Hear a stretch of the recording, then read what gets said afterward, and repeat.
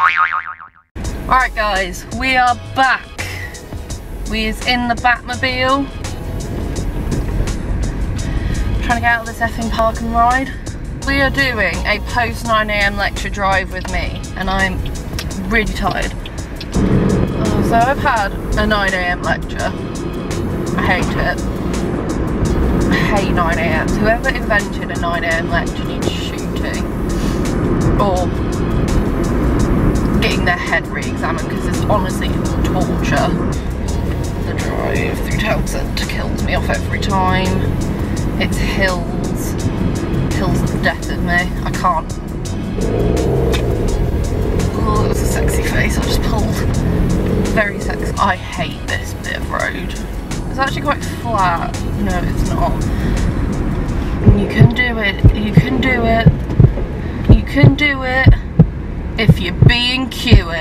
Um, honey, take me out to dinner before you get up my ass, please. I like Pizza Express.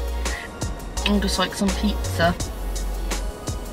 Basically all the foods aren't good for me that make me really fat and get me to watching. Come on, go if you're gonna go. No? Okay. God, you're practically riding his arsehole.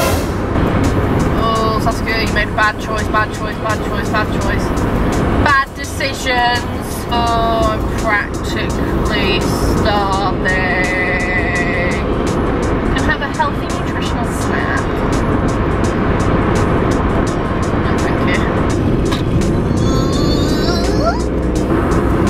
I'm unsure of my life choices. Why did I go to university and decide to get a degree? Why did I dye my hair dark brown? Why was I created? What purpose do I serve in life? All these questions in the universe that I want to be answered and I can't answer them. I'm a confused little child going through life. I'm not a child though, I'm bloody 20 years old and still not got my life together. We're nearly home. Just to go back out again, I've got to go to the post office and get lunch. My life's not, my life's full of stress and regret. I woke up at half five this morning, getting back at 12. We're nearly there, the home stretch. And we're home. Oh, there we go. Alright guys, so that was it.